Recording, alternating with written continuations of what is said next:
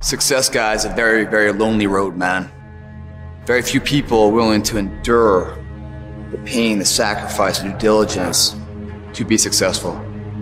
It's an uphill battle. And along that road, you're not gonna see too many friends. You're gonna see your shadow most often. When everybody is against you or don't believe in you no more, it's a lonely feeling. They look at you with that look and say, why don't you try something else? Why don't you give up? There will be times when you will feel alone and you will feel deserted, when you'll feel weak and you doubt yourself and other people will doubt you and you ask yourself, am I crazy? People are going to think you're crazy. And sometimes you're going to think you're crazy. You're going to question yourself. It's hard to pick yourself up when you experience setbacks and people don't see the vision. And no one else believes in you. That's going to happen. But we all have a choice. The choice is you can let the outside noise affect you or drive you. What's it going to be? Don't give up. Stay in it. Stay focused. There's been so many times in our lives where people tell you you can't do something.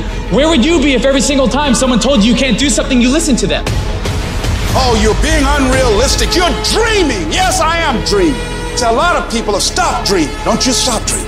It takes guts. You gotta dig down deep and gut it out. Keep on going. Again and again and again. Until you make it happen because you know that it's possible. Your self-belief must outweigh others' disbelief. Your belief must be so strong that you block out the noise of everyone around you. And all you hear is your internal dialogue telling you, I can do this, I will do this, I must do this. And no matter what it takes, with every fiber of my being, I am going to win.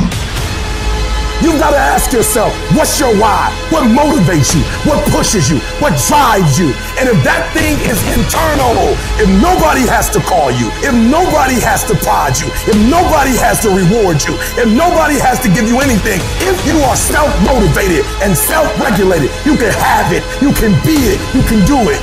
Judge not according to appearances. Don't judge your circumstances and the possibilities for your future based upon what you have now and because of what's going on now. No, no, no, no. You must have the faith to call forth those things that be not as though they were. And for some of you, you stop dreaming. You dream for a week and you stop because things around you don't look good. You dream for a month, and when you get hit in the mouth, you quit and you give up. You dream for a while, and when people tell you crazy, when people tell you stupid, and when people tell you can never get done, you stop dreaming and you go back to knowledge. People are gonna laugh at you.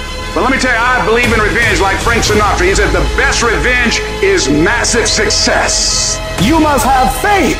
You've got to believe in yourself. You've got to believe in your abilities. You've got to believe in your service, your company, your ideas. Unquestionably, take that leap of faith. Trust yourself and believe and know within yourself. And don't doubt in everything in you that everything is going to be all right. I dare you to use your imagination. I dare you when you broke to use your imagination. I dare you when you're rich to use your imagination. I dare you under every single circumstance. Keep dreaming.